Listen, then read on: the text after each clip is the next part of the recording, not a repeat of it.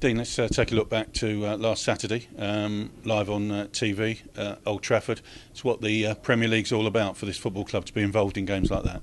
Yeah, obviously, uh, Man United, the champions, in their backyard. It's, it was it was a big big weekend for everybody involved, but unfortunately, we didn't get the result we wanted. We went there, and that was the main thing we wanted it was obviously going to be a very def, you know defensive. We're going to have to do a lot of work at defence and you know look, be under a lot of pressure.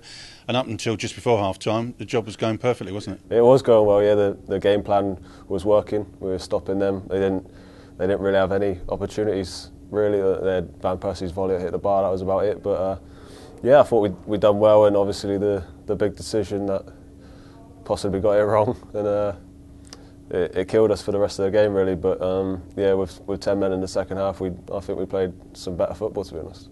There was two big penalty shouts just before the actual penalty, wasn't there? Big calls from the ref not to give it uh, at uh, Manchester. Then obviously the, the crucial one, as you say.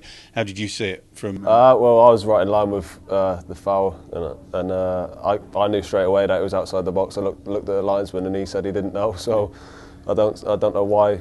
I've seen it all on TV, match of the day, and things like that. If if the referee doesn't doesn't know 100% and the linesman saying he can't help him, I don't see how he's come to the decision. But he came to it. We had to get on with it, and uh, yeah, it was it was tough from then on.